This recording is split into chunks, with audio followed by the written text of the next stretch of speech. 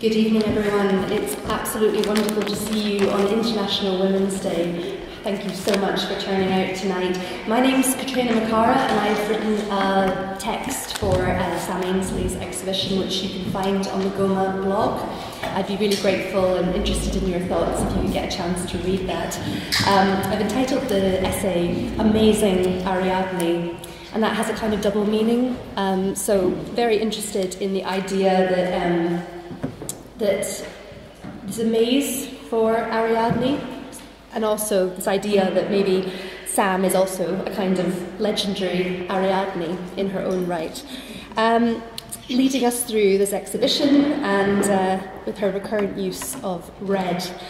Um, we um, both enjoy the work of Charlotte Higgins. You actually introduced me to her and her work. She's a journalist and she's written a wonderful book called The Red Thread on Mazes and Labyrinths. It came out in 2018 and it's um, been re- repurposed for 2021. I really recommend reading it in connection with Sam's oeuvre um, because it leads to all kinds of fascinating revelations. So thank you for introducing me to that one, Sam. Um, it's really a tale about um, a contemporary revision of um, the myth of Ariadne, and I think it's written from a feminist perspective, which is really refreshing. Um, I just wanted to start maybe with a quick quotation from that, if I may. Mm-hmm. Sure. She began to make plans. When the whole palace was asleep, she got up. First of all, she fished out her work. It was a work basket full of a ball of red thread. Not any red thread, it was as tough as the strongest rope and many miles long. Miraculous stuff. She had flinched from Daedalus long ago. this she put in her pocket. Then, stealthily, she slipped into her artist's workshop. Ariadne had been the kind of small girl who'd learned to make herself inconspicuous. That way, she had found people said more than they meant to in front of her. Hoarding scraps and ends of knowledge had given her a fleeting sense of power. So, um, I found that I found that productive when it came to yeah. looking at your work and engaging with your work, Sam. Um, and yes, I guess my first question is about quotability. How does the maze and this kind of cultural history which Charlotte Higgins gives us, how does that operate in your practice? Um, well, as you know, Catriona, I adored the book, the Charlotte Higgins book, for all sorts of reasons, not the least of which is uh, that Ariadne's thread was red, that led Theseus out of the Minotaur's lair. I've been interested in Greek myths for a long time, but um, anyway, there, there was something about that idea that women's experience of the world is different to that of men. It's not better or worse, it's just different. And this has informed all of my work um, because although I tried to make it um, relevant across the board, I think that I am speaking purely from a, a feminist perspective, a female perspective, and because of that, um, I think sometimes my work is misread as uh, something, um, I don't know what the word is, contentious, when in fact it is meant to be uh, a communal coming together uh, of different worldviews, of different possibilities, of different truths, different histories. You know, I've always been astonished at how different the histories are depending on who's writing them. I remember my son coming home when we lived in Edinburgh with a child's Scottish history, and it was so radically different from the one I'd had in the northeast of England that I thought, wow, I have to get to the bottom of this. So, yeah, um, there are, I think, a lot of things in the book by Charlotte Higgins that relate to my sense of how women have been portrayed in history, how recent it is for women artists to even have recognition, maybe in the last century. Um, and I think also that it's been difficult for me as a tutor in an art school for 25 years to realize that the main obstacle for my female students has been lack of confidence. Mm-hmm. Not much else. Their work was certainly as good as, if not better, than their male compatriots. But anyway, that's another story. Mm. Let's get back to the subject. It's another story, but it's a fascinating one. It's something I really want to ask you about tonight, actually, Sam, because um, Charlotte Rostek recently wrote in the Scottish Women Artists Catalogue that there is something now known as the Sam Ainsley effect. and no, I mean it's true. You you have you have taught so some of the most significant artists of our time, Christine Borland, Alana Halperin, you name it, you taught them. You know that that's extraordinary actually. Um, but your work's quite different from theirs at first sight. Yeah. And I'm, I'm curious if you could tell me a little bit about the, um, the kind of overlaps that you might see within their work and yours. I'm So sorry. You need to share the microphone. Oh, okay. Does that mean it's on? It's on. Okay. Is that on? Can you hear? No? You need to switch it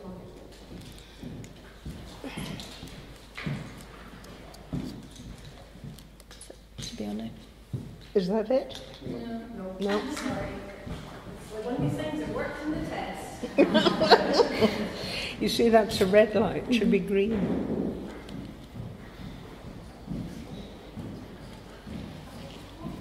Gives you time to think, though. But maybe it doesn't need. Do we need a microphone? Oh, oh. we have lift off. um, so the question was about um, conceptual art yeah. and a painting practice, yeah. I suppose. Mm.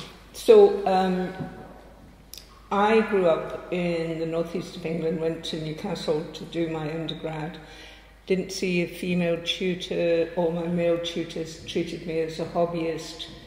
Uh, one tutorial consisted of uh, a tutor saying, pass more fucker, uh, which he passed off as a tutorial. Uh, chauvinism was alive and well.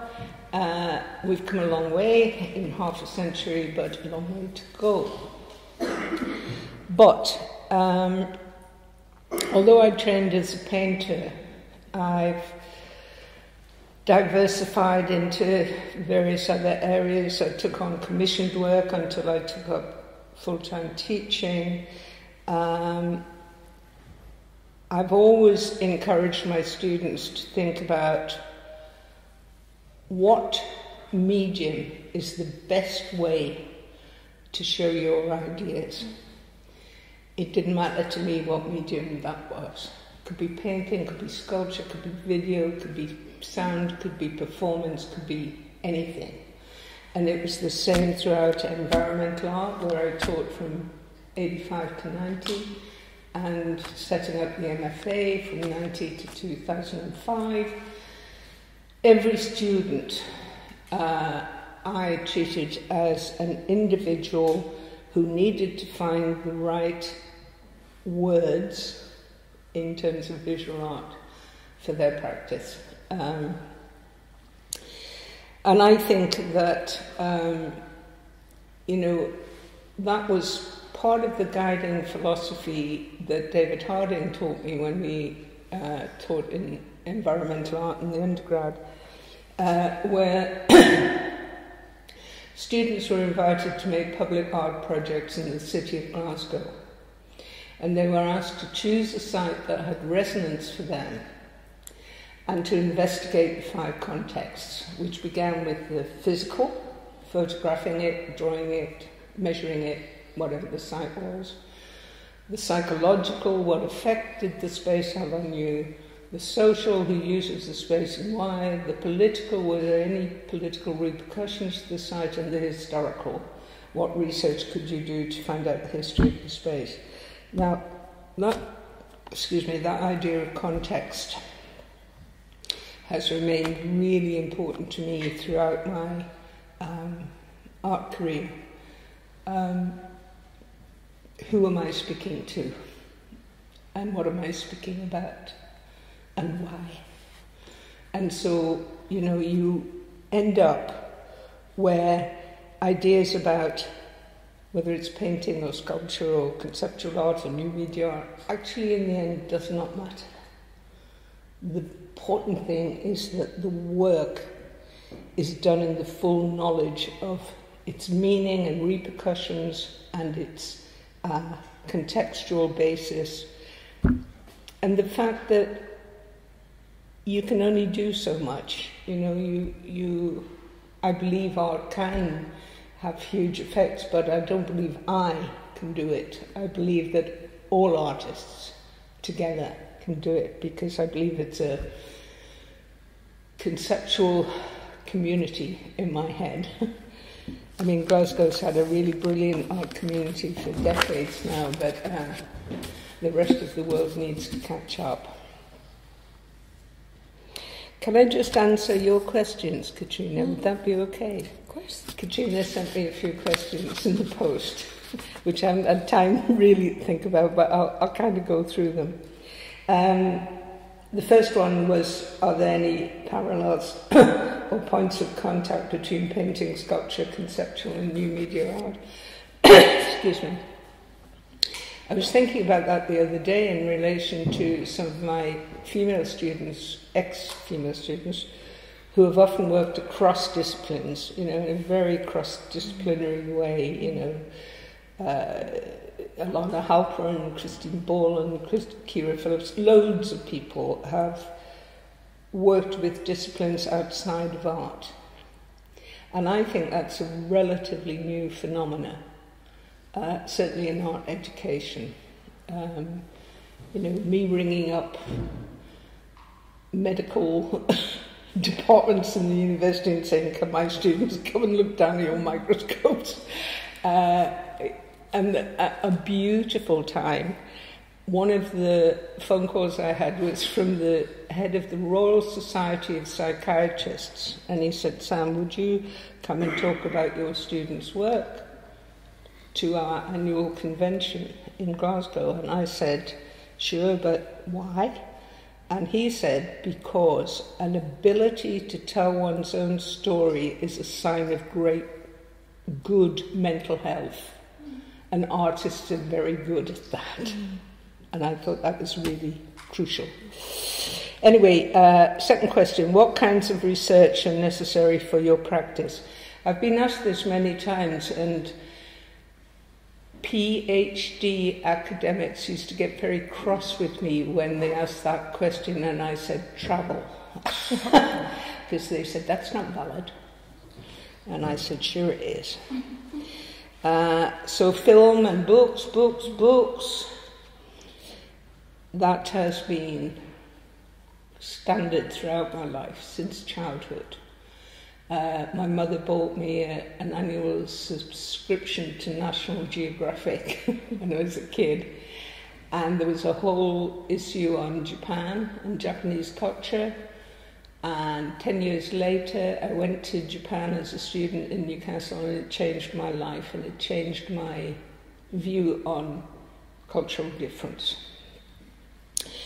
Uh, how important is interpretive writing to my artwork? Well, it's very important. Excuse me. An artist can learn so much about their work from what other people say about it, or write about it, or respond to it.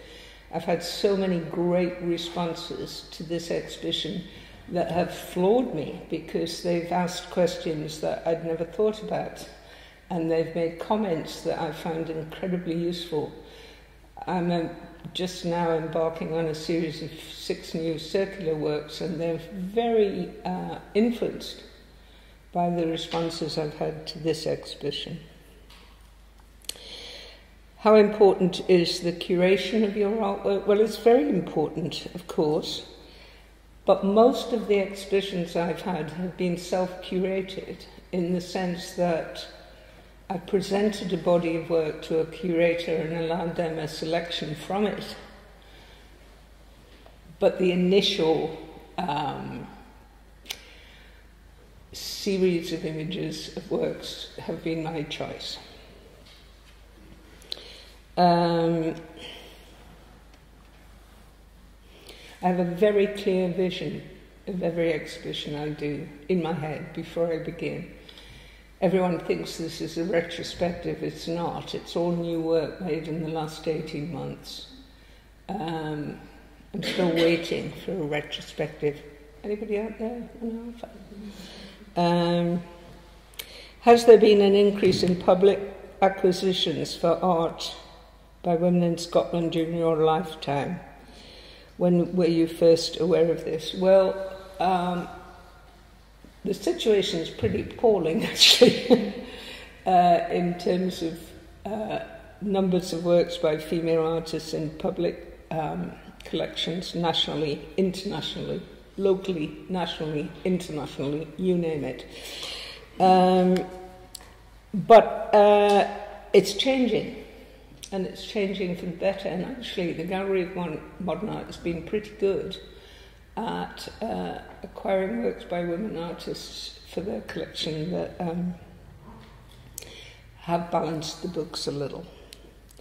Um, but I don't know if any of you remember, excuse me, I'm losing my voice.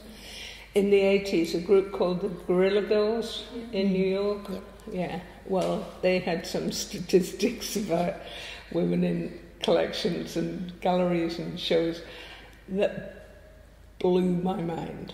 It was so scandalous. Uh, anyway, um, the last one is crazy because there's no way I can answer it.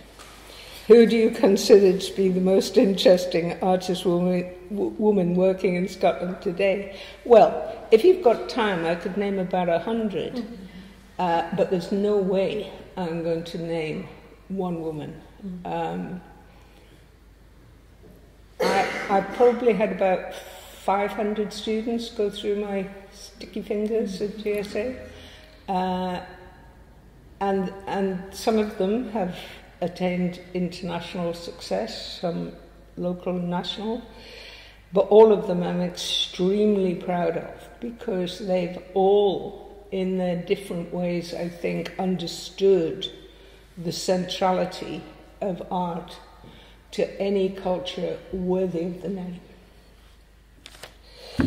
Uh, where did we get to? You've answered all the email question. Right. Sure. I wanted to ask you um, about Louise Bourgeois because I saw her artist reading today in um, Aberdeen, Aberdeen uh-huh. Good for you. Um, indeed, it's worth a visit up north. Um, I'm just struck by some of the parallels that I encounter when I look at Louise Bourgeois. I mean, she's quite a fan of red as much as anything else, um, but also the sense of power and comfort, joy and agony. Um, I couldn't help but notice, Sam, when I was in your studio, that you had a Louise Bourgeois postcard tacked to your wall, and that made absolute sense to me. Sure. Um, so I just wonder how you um, relate to um, Bourgeois' feminist practice and her surrealist generation. Yeah. I mean, she, I sorry. I recently spoke at a conference in Newcastle called Creativity and Aging. Thanks, Pet. Uh, anyway, I told the I told the organizer it should be called Creativity and Ageism which didn't go down too well. Anyway, in it, um, I talked about um, the number of women artists now, possibly for all sorts of complicated reasons, who are still making work in their 60s, 70s, 80s, even 90s, uh, and male artists too, and how that is a big change. Um, and so you know, to see some of the work of Louise Bourgeois in the, fr- in the flesh and also see photographs of her with a giant penis under her arm thrilled me to bits. Um, you know, she is an icon, and I'm fascinated by her psychogeography, if I can call it that, um, complex personal history, complex autobiography. Uh, but in the end, you know, the work stands up for itself or it doesn't. Um, so, although I think my work is incredibly autobiographical, I don't think it's important that people know my autobiography in order to understand the work. Mm-hmm. Um, but there are some things, uh, if I can just jump in, mm-hmm. Catriona, that I meant to read out earlier. And one of the reasons I brought my notes is because I constantly forget things that I'm supposed to say uh, or that are important to me to say. Uh, there's a book called Islander, A Journey Round Our Archipelago by Patrick Barkham. And in it, he talks about D.H. Lawrence, the man who loved islands. Who knew? Um, and this is a quote from the book When the mainland or mainstream is in crisis, people look to the periphery for escape or inspiration. Many of us are looking there right now. Small islands may offer a critique of our larger island life, but might they also provide salvation for our epoch. Mm. So that was interesting to read. Uh, next thing is, I've lost him. Where is he? No, not him. Sorry. It, ah, here he is. There's a New Zealand artist called Colin McCahon that I came across when I was in Australia and New Zealand many years ago, um, whose work I loved. Apparently, he lost his mind when he was representing New Zealand in the Venice Biennale many years ago, which one could understand in the context. Um, these are three quotes from Colin McCahon, written in 1971. The first one says, I am not painting protest pictures. I am painting about what is still there and what I can see before the sky turns black with soot and the sea becomes a slowly heaving rubbish tip. I am painting what we have now and will never get again. 1971, he wrote that. How prescient is that? Mm. Then he says, Most of my work has been aimed at relating woman to woman to this world, to an acceptance of the very beautiful and terrible mysteries that we are part of. I aim at a very direct statement and ask for a simple and direct response. Pretty good. Then the last one my painting is almost entirely autobiographical. It tells you where I am at any given point in time, where I am living, and the direction I am painting in. In this present time, it is very difficult to paint for other people, to paint beyond your, beyond your own ends and paint directions as painters once did. Once the painter was making signs and symbols for people to live by. Now he makes things to hang on walls at exhibitions. So that was pretty good. Right, last two. Annie Dillard, wonderful American writer, wrote an essay called Write Till You Drop. Do you know it? I don't, but please. The writer, this is one quote. She was talking about how writers describe things from different places to home. Write about winter in the summer, describe Norway as Ibsen did from a desk in Italy, describe Dublin as James Joyce did from a desk in Paris. Willa Cather wrote her prairie novels in New York City. Mark Twain, Mark Twain wrote Huckleberry Finn in Hartford. Recently, scholars learnt that Walt, Walt Whitman rarely left his room. And this is Annie speaking. The writer studies literature, not the world. She lives in the world, she cannot miss it. If she has ever bought a hamburger or taken a commercial airplane flight, she spares her readers a report of that experience. She is careful of what she reads, for that is what she will write. She is careful of what she learns, because that is what she will know. So, last quote. There's a wonderful book by Katherine Rundell called Why Adults Should Read Children's Books.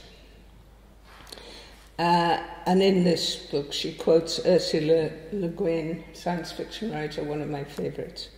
We live in capitalism, its power seems inescapable, but then, so did the divine right of kings. Any human power can be resisted and changed by human beings. Resistance and change often begin in art, very often in our art, the art of words and pictures. And Katharine Hepburn, in an old film called Adam's Rib, when she questions her secretary about the moral double standards of the day, her secretary very defensively says, I don't make the rules. Sure you do, says Hepburn. We all do. so, back to your question, Sam. Well, I think that's a very powerful way of answering my first question about quotability. Thank you, Sam. That was so rich and there's so much to unpack and think about there.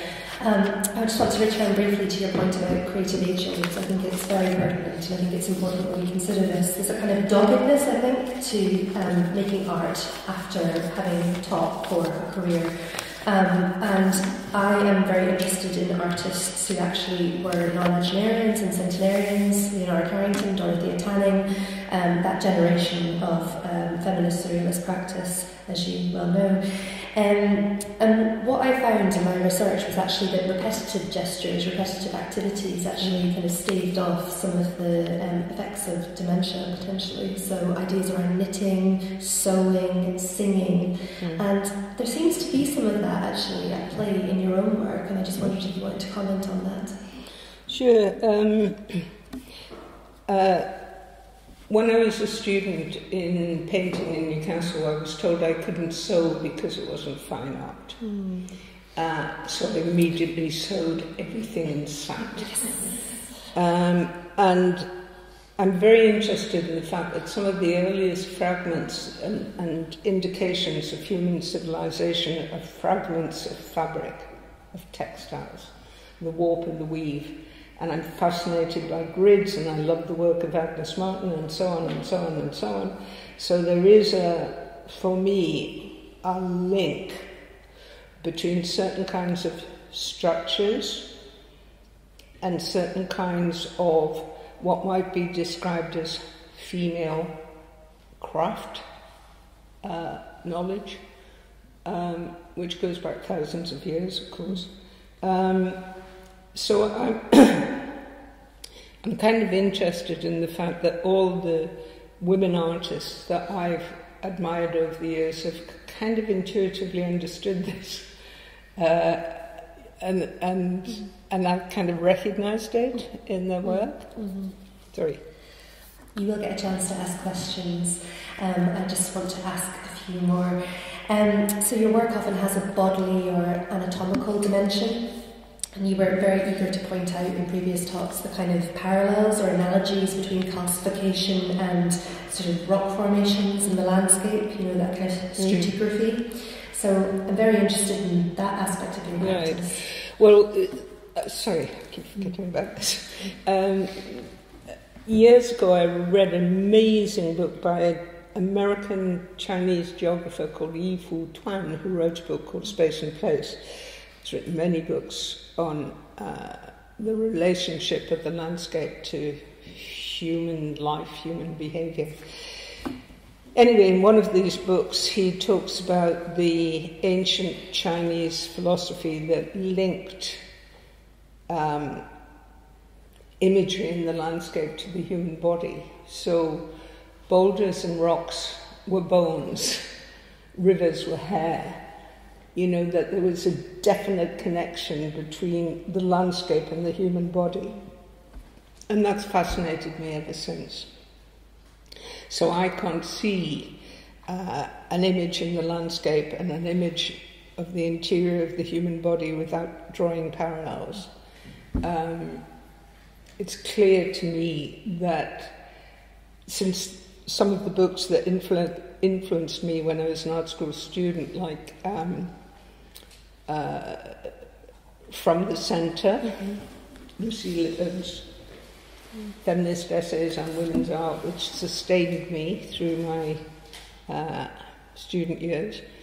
Um, but also um, a book called On Growth and Form by D'Arcy Thompson, where he relates structures in nature uh, to human forms and landscape forms and to architecture and to you know everything in the world. I mean it was a real eye-opener of a book. And many years later i had a two-person show at the glasgow print studio called after growth and form where i revisited some of the um, ideas in the D'Arcy Thompson book.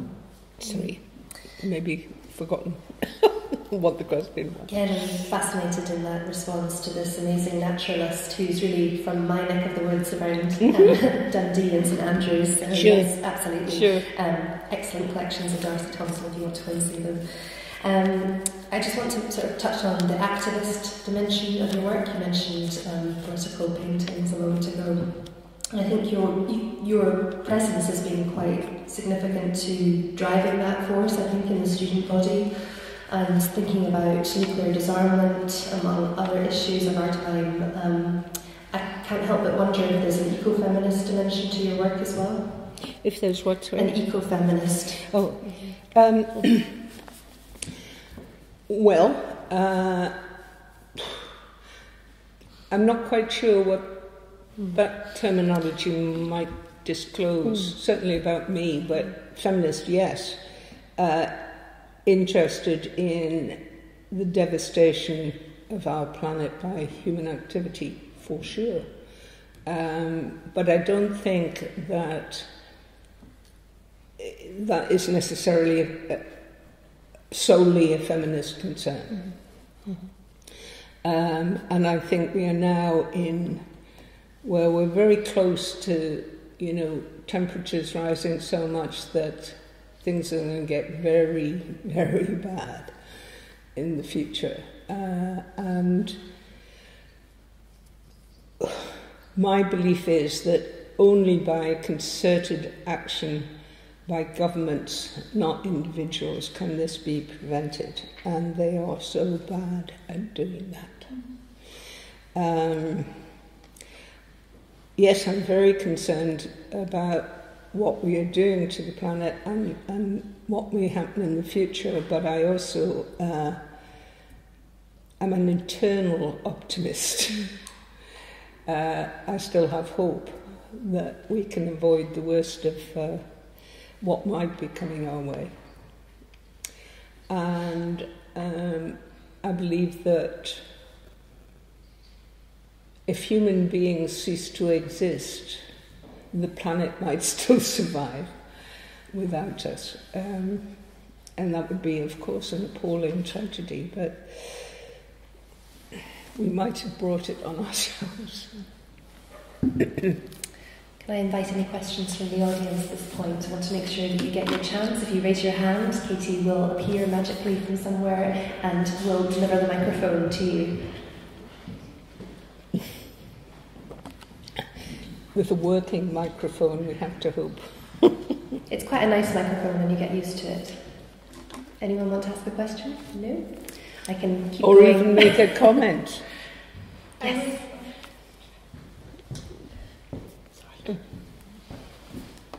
I was just curious um, who it was that you had quoted that was the political artist.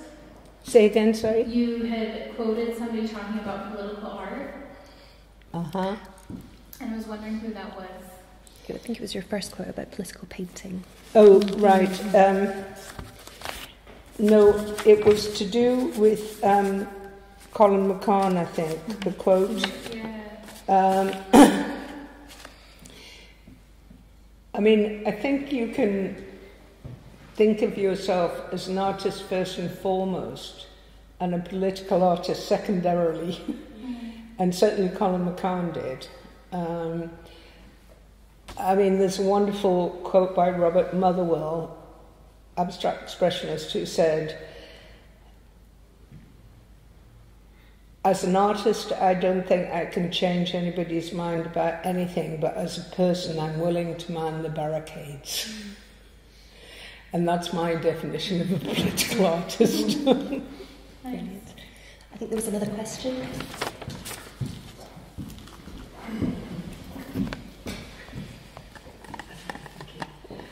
I'm not sure, Sam, whether this is a question or a comment. It's a bit of both. right?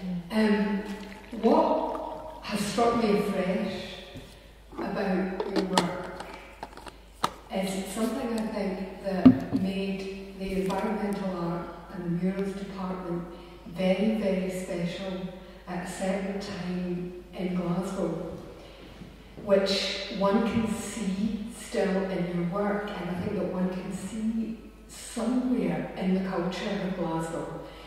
And that is the fact that despite what the rest of the art school was doing, in terms of media and environmental art, there was no mediaism.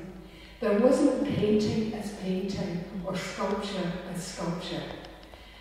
It was, and, and there was no, um, oh, I don't know, uh, you know, and especially, and I think this is true about language, Mm. because there is a kind of ideology that vision is vision, and in terms of art, it comes first. Yeah. And what is really, really refreshing about your work is the equality of, especially the literature, with vision. And it's very refreshing because I think that in some places in the art world, that's something which isn't always, you know, that's a very uneasy alliance. Mm. Sure. And yet it has flourished through that particular, let's just call it an ideology Mm. because I can't Yeah. think of a better word, that came out of environmental art and which is very, very much part of what your practice is. But it's also, I think, very clear to me that um, Glasgow School of Art and Environmental Art and the MFA played a very important part in the uh, dynamism of the visual art community in Glasgow for a long time. Um, in a way that was to do with how David Harding and I tried to inculcate in our students the importance of a sense of solidarity and community and, and ethics, and how we tried to insist upon a certain kind of generosity of spirit so that you would support other, other artists. Now, I'm long out of the art school. 205, I think I retired, so I don't know what the current state of play is, but I would be very, very sad if that sense of community and, and cooperation had been lost in the visual art community, because I think it's what differentiated it from any other city in the UK. Yes, I mean, I made that comment because of your, your first question as um, a curator when you were thinking about conceptual art and, you know, that. And conceptual art, in a sense, is kind of, it's dying a bit death, which is a shame. All Whereas- art is conceptual. Yes, exactly. Whereas in Glasgow, there, there just was not that divide, I think, which Yeah. was something that was able to, you know, give us Christine Borland on the one hand Yeah. and, and the wonderful painter. Um, I'm thinking of Callum, I think, but well, I can't, can't remember his surname. Almost. Sorry? Yes, well, Innes is from Edinburgh, but there Yeah. was another wonderful painter who graduated Noah Saterstrom? No. Oh no, no, he made all these wonderful kind of academic paintings. He graduated at the same time with postgrad with me. Oh God. Brain death. Right, I know. Well, look, Okay. Give me five. But it was, it was, that is. Yeah. that is the kind of- I know what you mean. It- It's Yeah. like almost as if we came to the traditional disciplines in art from a very different viewpoint and ethos. So the painting in environmental art wasn't like the painting in the painting mm-hmm. department, nor was the sculpture like the sculpture in the sculpture department. Not to denigrate those departments, but just to say there was a sense of difference. There was a sense of difference. And it was to do with the whole concept of uh, context. Yes, context and language and, and being able to use those things Yeah. without any kind of you know harboring of we should be doing this. Sure. Yes.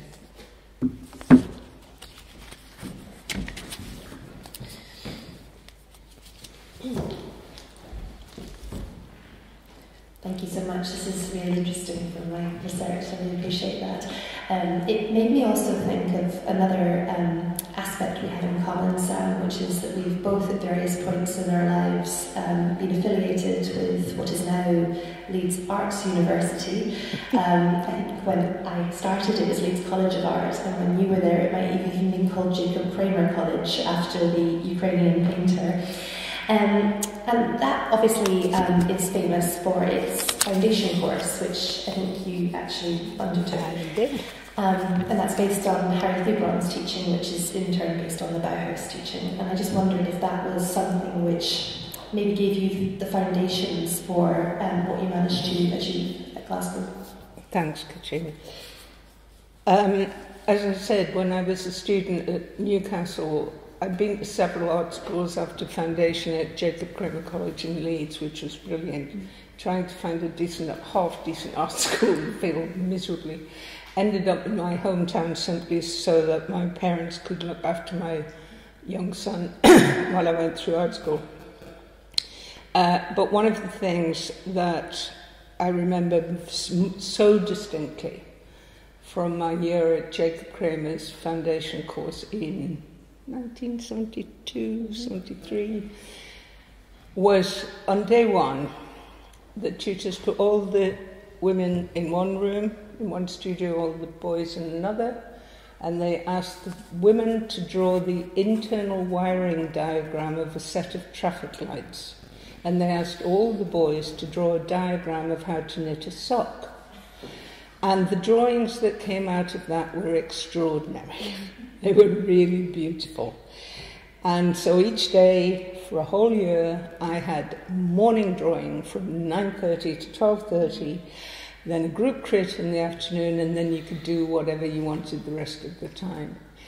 Uh, we were sent to live in a geodesic dome on the Yorkshire Moors for a week to live off the land. Uh, we would be given a topic every morning for morning drawing. Patrick Oliver, one of the tutors, came in and said, I live on a farm outside Leeds. I have only one goose. I would like you to draw games for lonely geese to play. Try getting your head around that when you're a youngster. Um, but I have such brilliant memories of that year, and it really informed my teaching when I became a teacher because I realised that actually I could do better than some of these male tutors I've had in Newcastle. Um, and, uh, and I brought a lot of those ideas and experiences and philosophies and attitudes into my teaching, certainly in the first year at Glasgow before uh, environmental art. So. We're reaching the end, so if anyone does have a burning question, now is the time to put your hand up.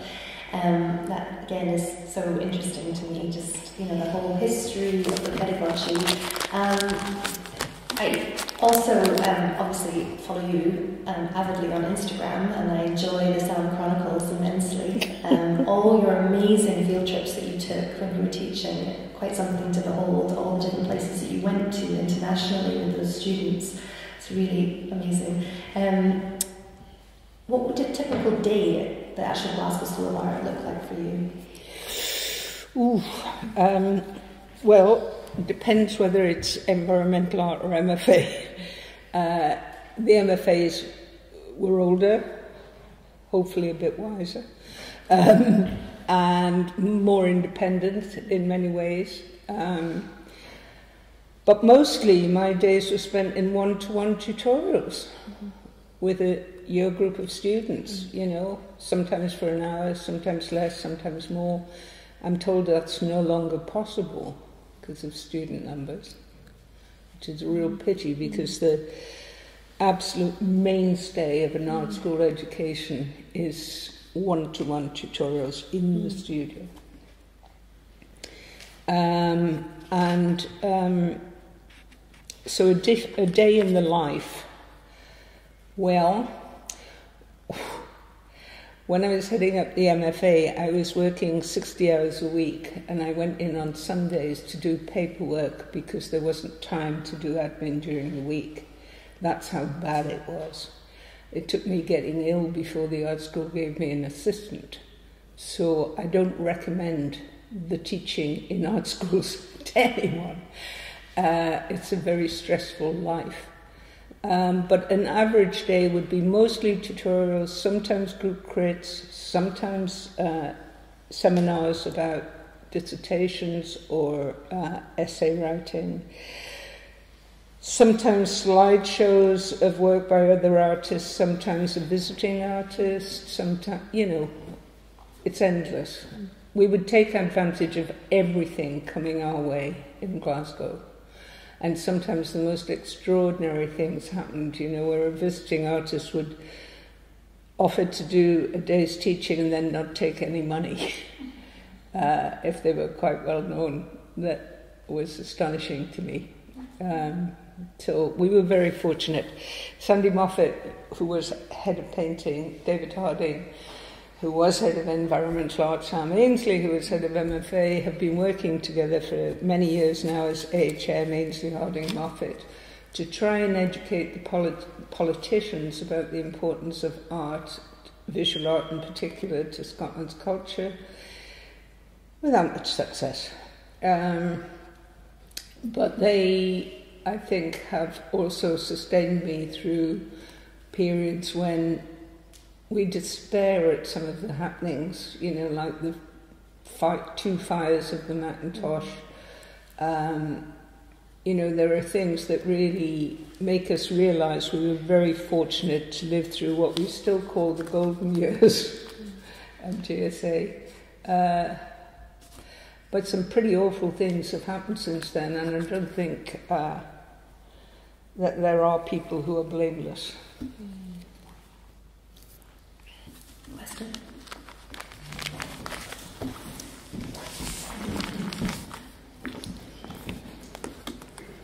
You were talking earlier about your female students, and you said that you noticed in them more than your male students that they suffered confidence in their work.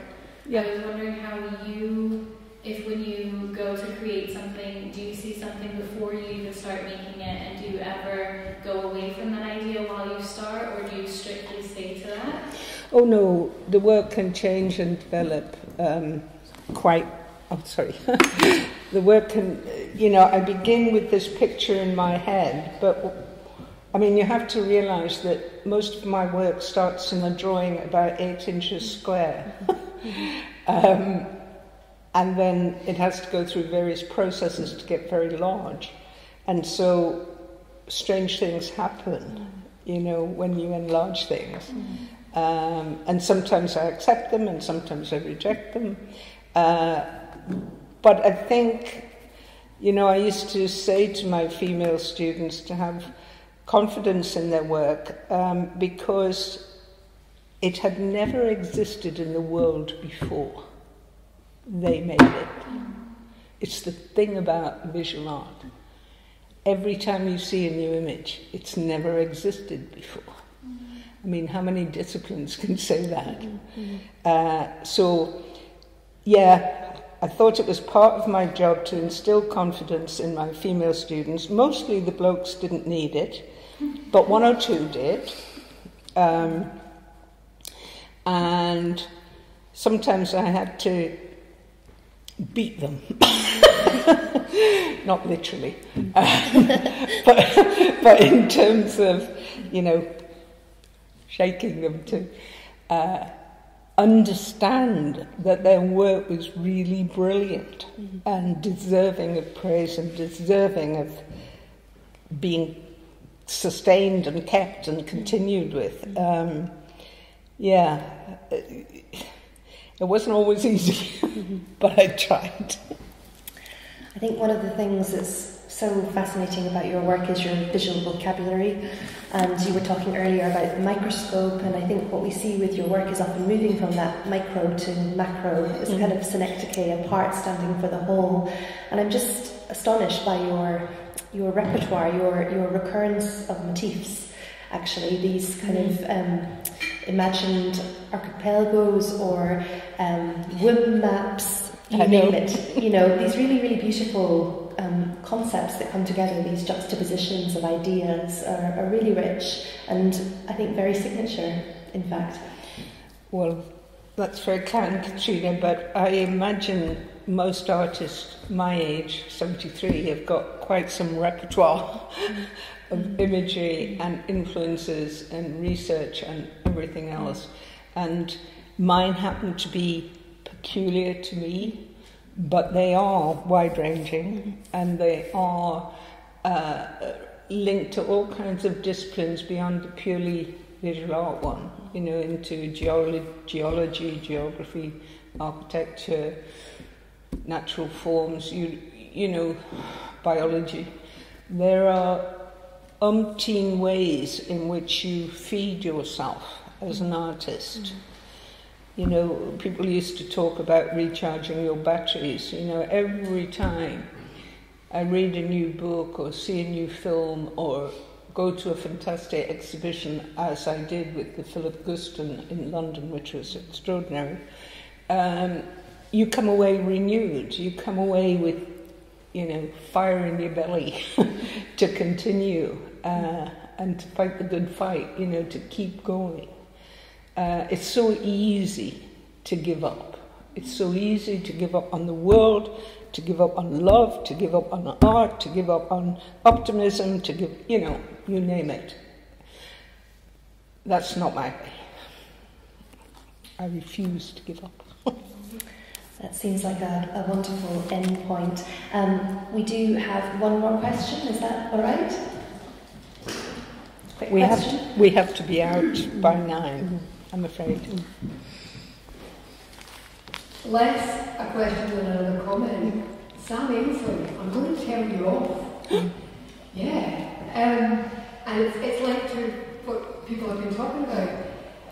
You, you have a kind of graphic idiom mm-hmm. that has been developed between image and language, which is extraordinary Thank original you. and yours. Mm. And it was the one thing when you were walking around the gallery tonight that, and talking about your work, mm. you were talking about it very much in terms of the symbolism of what it meant to you. And you said very little about how formally that was actually being realised mm-hmm. through colour, through line, mm. through cobalt blue, mm. Through red. Yeah. You know, from, from bits where, in the little ones where you were hiding. I own up, Jane. I, you are absolutely right. I did not refer to it once. You did. I'm so sorry. and, and, but it's very. I think it's worth mentioning because I think it is part of that language, mm. that way in which those symbols come alive in your art. And last thing I'm going to say, right, and it's, I'm thinking about a very famous essay, the map is not the territory. and Indeed. The territory which is all yours, Pearl. and it's wonderful to be to witness it and to be here to see it. There's a lovely uh, Borges story about a man who makes a map the size of the world. you know, that idea that a map can be, you know, this big, yeah. or it can be the size of the world. I, you know, there's something intellectually stimulating about the whole idea of maps and mapping that has remained with me for years and years. And uh, I still find it difficult to separate the kind of historical knowledge from my personal emotional connection with it. Quite difficult. Anyway, uh, Katie Bruce, my lovely curator, uh, is uh, reminding me that we have to be out of here by nine, I'm afraid. So we have to end. But thank you all so much for being here tonight. I just want to say two quick things before um, we thank Sam. Um, the exhibition is on until Sunday, I believe. So please bring no. friends and family. It's extended till June. Excellent. Even better. June 30th. Right, June, June 30th. So there's lots of time to still see it, to engage with it, to spend time with it. Sam also has work in the Women in Revolt exhibition, which is coming to the National Galleries of Scotland shortly.